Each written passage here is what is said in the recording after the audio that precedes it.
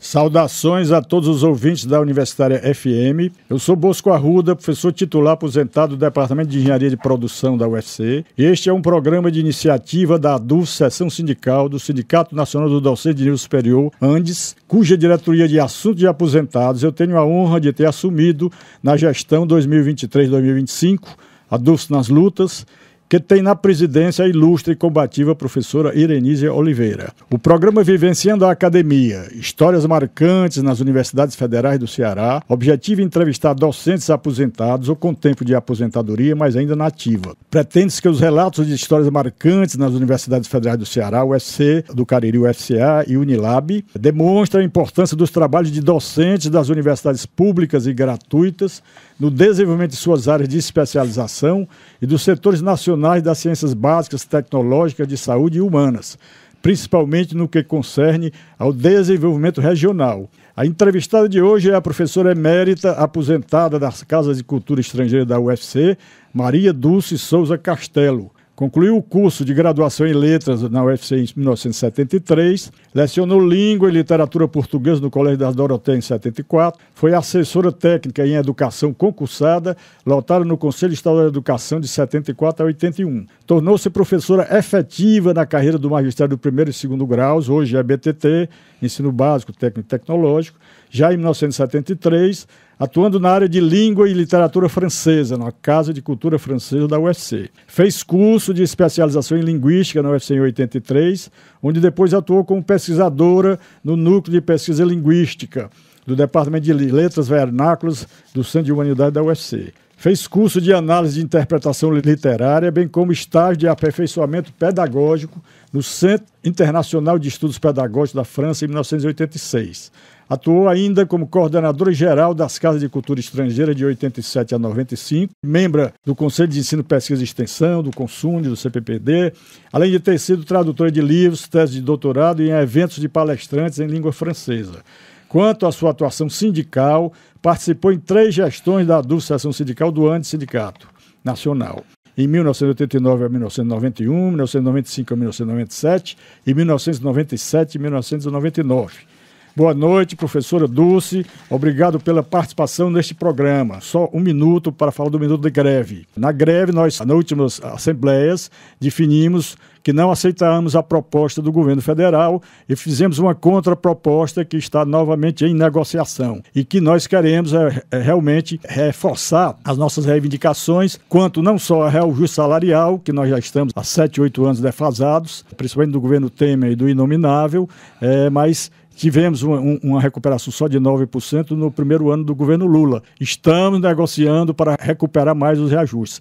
Mas, principalmente, também queremos recuperar os recursos para a universidade para que se mantenha devidamente, se expanda é, a, toda a questão física da universidade e para os alunos também o apoio de bolsa, o apoio do restaurante universitário, que e precisa que o orçamento das universidades públicas e gratuitas sejam recuperados e aumentados. Com relação a isso, eu finalizo o meu minuto para greve. Gostaria de iniciar esta entrevista, bate-papo, com a seguinte pergunta, professora Dulce. Onde nasceu e estudou até a tua formação pré-universitária? Seguiu algum exemplo familiar? Foi influenciado por algum professor ou professora?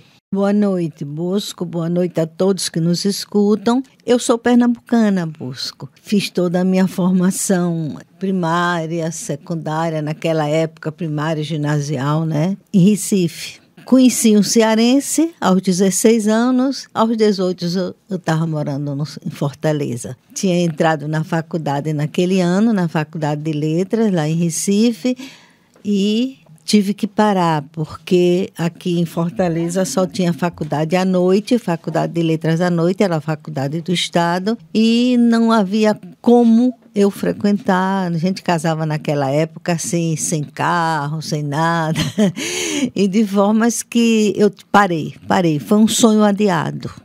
Quando eu já tinha três filhos, voltei a estudar e terminei meu curso de letras aqui na Universidade Federal do Ceará. Você teve alguma influência familiar ou foi influenciado por algum professor, professora que marcante?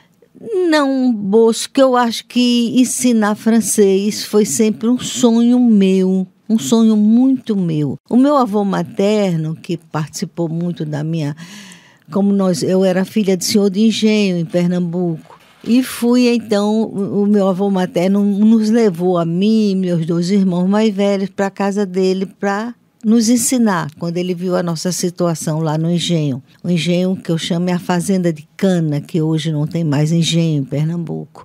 Fazenda de cana de açúcar. Ele me levou para lá e ele começou a me ensinar.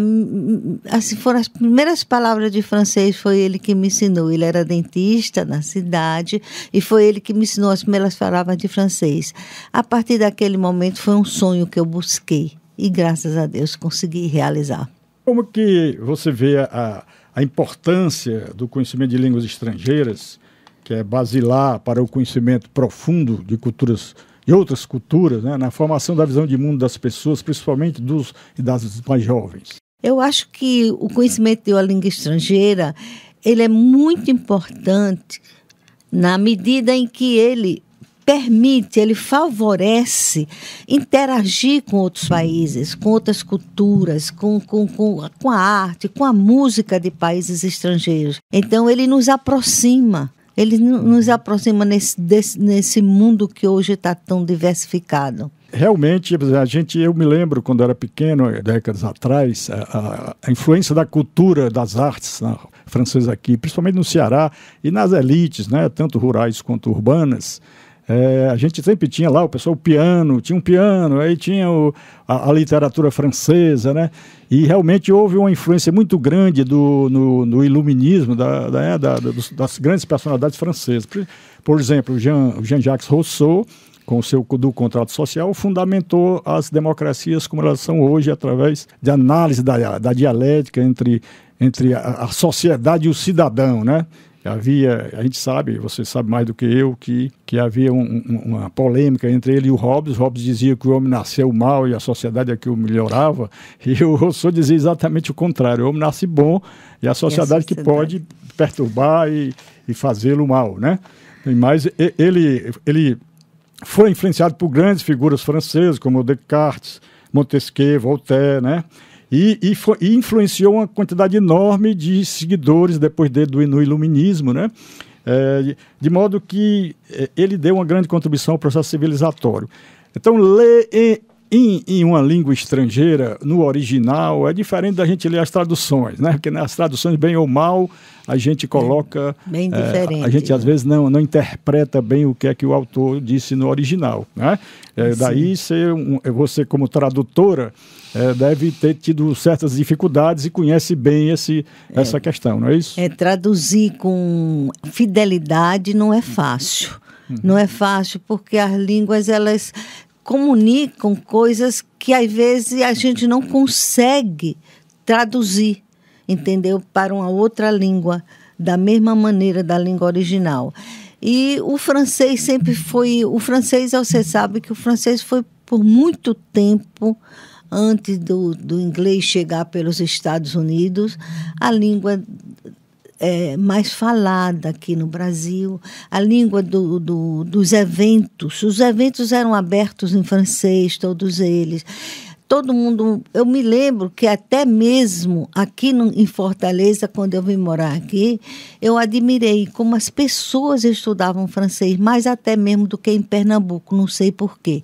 Mas estudavam muito francês, iam, iam muito para o Rio de Janeiro, sobretudo as filhas de, de famílias mais ricas, iam muito para o Rio de Janeiro estudar francês lá no colégio, eu não lembro agora o nome, que era um colégio muito famoso lá no Rio. Era uma língua muito procurada era uma língua de elite também. Né? A força dos eh, dos países imperiais né? é. né? incutia no, nos demais países essa sua é, é, é isso língua. aí o inglês foi tomando conta né e, e, o inglês foi se afastando um pouco ficou para os amantes da língua é, o inglês é, foi primeiro nós tivemos o império decaído inglês da, da Inglaterra né é. hoje nós temos o império decadente estadunidense que é, força os Estados Unidos, como, como força o dólar enquanto moeda, força sempre a língua, né? É, é, uma língua. Mas eu, eu gosto muito de. Eu me lembro, assim, eu fiz um, na época, nas casas de cultura, o curso de Esperanto. Né? Esperanto foi uma língua foi. criada por Zamenhof, que ele tentou. Ele via a importância da língua pela, por um instrumento de comunicação. e ele sabia que uma das brigas que existiam no passado entre as tribos, entre as comunidades, era porque eles não falavam a mesma língua e se consideravam inimigo. Quem não fala a mesma não língua acaba sendo inimigo. E daí, Bosco, a grande importância das casas de cultura estrangeira na, na Universidade Federal Com do certeza. Ceará. Porque eh, a gente dizia até assim de forma caricata que a gente saía da França, atravessava o Canal da Mancha, chegava em Londres e de lá nós caminhávamos para Itália, Espanha, Portugal, entende? Então era um negócio e para não ter dificuldade de comunicação, nós tínhamos o Esperanto, justamente o Esperanto que nos ajudava nessa comunicação. Mas as coisas vêm, passam, as casas de, de cultura ainda estão aí, mas as, e, e, são muito importantes ainda porque elas suprem uma ausência uma, muito grande no ensino médio, do ensino de línguas estrangeiras, Isso. que nós tínhamos um bom ensino, pelo menos de duas línguas no ensino médio, no, no antigo ginasial e no antigo clássico científico, e esse ensino acabou. No máximo, hoje se ensina o inglês. As línguas estrangeiras é, não fazem mais parte do currículo das nossas escolas. É, isso é muito triste, porque, mas de qualquer maneira, é, eu acho que a comunicação, o, o avanço tecnológico, ele está de alguma maneira facilitando, porque hoje você tem tradução simultânea, né, é. digital, não é isso? É. E de alguma maneira a, a tradução é, ela está tá ocorrendo, porque o importante da língua, de ser aprendizado, aliás, um dos coisas mais importantes que eu acho, é, é, a proximidade com outras culturas. É ser compreendido e compreender o discurso do outro, que nós não vivenciamos a cultura. Eu, eu morei na Europa quatro anos e, e visitei muitas, muitos países e tal, eu conseguia me comunicar falando inglês, né?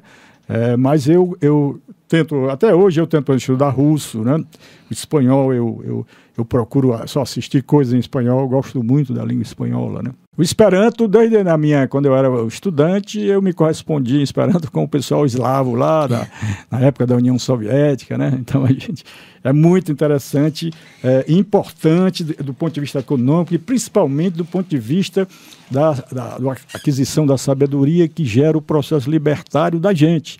O, o ser humano ele tem um processo libertário através da sabedoria. Se ele ficar ignorante, ele vai ser sempre sujeito à manipulação psicossocial e à lavagem cerebral. Você concorda comigo? Concordo. Concordo sim, Busco.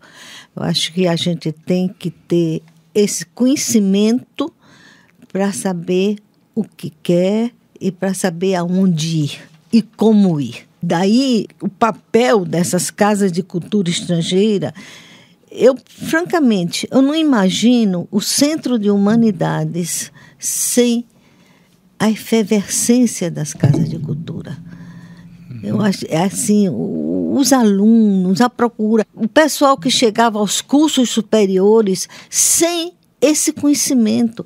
Bosco, eu lembro que uma vez eu tive uma turma, era uma turma de 5 horas da tarde, era justamente a hora que o pessoal saía dos cursos universitários, sobretudo medicina e arquitetura, que procuravam muito o francês, é, muito é, Isso é que eu, eu, acho importante que a agricultura foi, é, é, esse foco de união de diferentes estudantes de, de diferentes áreas justamente. de conhecimento, não é isso? E eu tinha uma turma que era assim, toda quase de alunos de medicina e de arquitetura.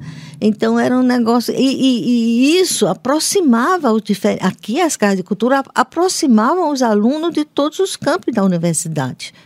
Entende? Era muito importante. É, é, e a gente sentia essa importância porque as outras universidades tentaram implantar esse, essa, esse serviço de extensão universitária uhum. mas nunca conseguiram nos nossos modos, com as nossas vitórias. Foi muito importante e ainda hoje é muito importante para a UFC. É, foi para mim foi muito importante porque eu fiz nove semestres no, de inglês, né? Fiz um semestre de francês com a, a minha falecida e que, querida irmã Eunice, Eunice, que foi minha foi professora. Minha amiga e colega. Né? E aí na minha família é, tem vários, por exemplo, tem a, a professora Celina, Celina também, Arruda, Celina é viúva do meu também do seu irmão, e falecido né? irmão Tarcísio. Tarcísio. Tem a, a Alta, que é a minha prima. Tem a, a, a, a sobrinha dela também, que, que é filha do Jair, irmão dela, que também é, foi é, é professora aposentada é, da Casa de Cultura Francesa. Então, a família parece que gostava muito do do francês. francês. Olha, o meu filho mais velho, que hoje é médico, é urologista, o pastor daí é um bom médico, pelo menos no olhar da mãe. Ele é um excelente médico. André Não, mas Cast- ele é bem conceituado. André. Castelo, ele aprendeu francês na cultura francesa. E Bom. quando ele, ele ia para a França, ele recebeu uma bolsa de médecin étranger na França. Ele foi, eu fui com ele ao consulado em Recife para a concessão dessa bolsa. E lá André falou francês muito bem com o francês da cultura francesa. Então aquilo me, me alegrou muito, me fez muito feliz e ele passou dois anos e meio na França estudando a parte de transplante e tudo. Teve que voltar, infelizmente, por motivo de saúde de meu marido, que faleceu logo depois, e ele teve que antecipar a volta dele para Fortaleza. Quais os maiores empecilhos que enfrentaste para alcançar os teus objetivos pessoais e profissionais? Se eu pensar pessoalmente, os empecilhos foi a própria, a própria minha situação de mãe, de esposa, entende? dona de casa. Como Mulher eu disse a sofre vo- muito, né? É, como eu disse a você, como eu casei muito cedo, eu casei ainda ia fazer 19 anos. E tinha entrado em Recife, na universidade, e abandonei para casar. O, o noivo cearense disse: não, eu não vou esperar. e eu tive que vir para cá. Chegando aqui, até que me adaptasse, até que, que, que me encontrasse em Fortaleza, demorou um pouco. E quando eu já era, já tinha terceiro filho, eu disse, bem, agora nós já temos três filhos, eu não quero mais. Aí tive mais dois. eu não quero mais, já está suficiente. Aí eu disse para meu marido, Gusto, eu vou voltar a estudar. Eu quero concluir meu curso de letras. E ele, naquela ocasião, me deu o maior apoio, a maior força. Voltei, me formei. Como disse a você, tive mais dois filhos. É, Eu admiro a determinação das mulheres pelo esforço de, de cuidar da, da, da família, de Entendo. trabalhar. E foi, e foi bom demais. E lá, né, justamente, fui, na época, fui colega e muito amiga de sua irmã Eunice, muito mesmo, fomos muito amigas. Ela era um, um ano mais adiantada do que eu na universidade, mas fomos contemporâneas como professoras, entendeu? E foi muito bom. A Eunice sempre falava muito bem de você, que todos que eu conheço, eh, nunca ouvi falar nada, coisa boa de, de Eu- você. vo- você sabe que eu fui coordenadora geral das casas durante oito anos. Isso, né? nós acabamos de mencionar isso no seu currículo, né? É, fui coordenadora geral. Você sabe que havia esse, essa desconsideração, esse incômodo que nós sentíamos como professora das casas de cultura, porque nós fazíamos o trabalho, as casas de cultura eram um, eram um cartão postal do Centro de Humanidades e as honras vinham para o Departamento de Letra Estrangeira. Aquilo nos incomodava, Bosco. Puxa vida, o trabalho é nosso. Por que a direção não ser nossa? Foi quando então nós buscamos e conseguimos a coordenação geral com a, com a, a professora Fátima Viana, que era diretora do Centro de Humanidades na época e foi para a Proreitoria de Extensão e ficou sem coordenação geral, porque geralmente era a vice-diretora do centro que era coordenador geral das casas de cultura. E sendo assim, a gente viu que tinha chegado a hora e a vez. É, na, na universidade pública e gratuita, a gente é, é, sabe que muitas vezes a gente tem que lutar muito para fazer o que a gente quer, né? chegar a ter êxito, porque nem sempre os governos reconhecem a nossa importância e o público em geral, porque só os que passam pela universidade reconhecem, mas o público geral que não passa, às vezes nem sabe e nem não sabe, reconhece a é importância. Daí, inclusive, é um objetivo desse nosso programa é mostrar ao grande público essa importância que a universidade pública e gratuita, porque o que é importante não é, não é só não pagar a universidade, é a liberdade de cátedra que nós temos e que não temos nas universidades privadas, porque se você falar alguma coisa, você pode ir de encontro àquele conceito do capitalismo que está ali querendo ganhar isso. dinheiro com o ensino, não é isso? Olha, olha, Bosco, essas casas, esses cursos da Casa de Cultura eram tão procurados, que sobretudo o inglês, logo, que é a, lógico que é a língua mais procurada, que o pessoal chegava aqui de tarde, da véspera, do, do, do, da inscrição, passavam a noite aqui na universidade, ali no Centro de Humanidades, para se matricular no outro dia de manhã. E isso começou a ficar tão difícil, essa inscrição para entrar nas casas de cultura, que nós resolvemos é, abrir o, o exame de o teste de admissão. Então, nós fazemos o teste de admissão para o semestre inicial e o teste de seleção para os semestres intermediários, para uhum. poder entrar justamente nas casas de cultura. Eu mencionei no seu currículo que você foi três vezes, eh, participou da diretoria da Dulce, não é? Foi. É, que é a nossa seção sindical aqui. Eu te perguntaria então, como é que você vê a importância dos sindicatos em, em relação à defesa dos direitos, da formação de visão de mundo político, social, cultural dos das docentes? Eu acho o sindicato importantíssimo, até foi por isso que em função das casas de cultura, em função da, da, inclusão das casas de cultura em toda essa questão da universidade, eu procurei fazer parte do sindicato. Logo no início, com a Gamenon, com a Rose Conte, entendeu?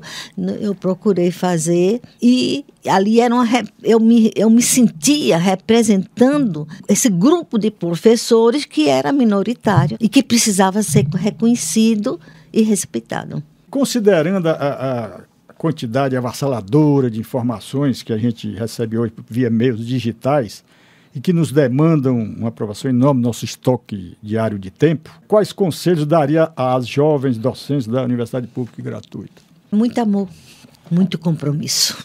Eu acho que a gente, tudo que faz na vida tem que ser com compromisso, com honestidade, com amor, com vontade de dar certo. Eu acho que assim a gente não faz nada que nada sem esse compromisso e essa honestidade. Não é para ganhar dinheiro, não é para dar satisfação a ninguém, nem a si próprio. É, nem é para alimentar a vaidade, é, né? Não, é isso aí.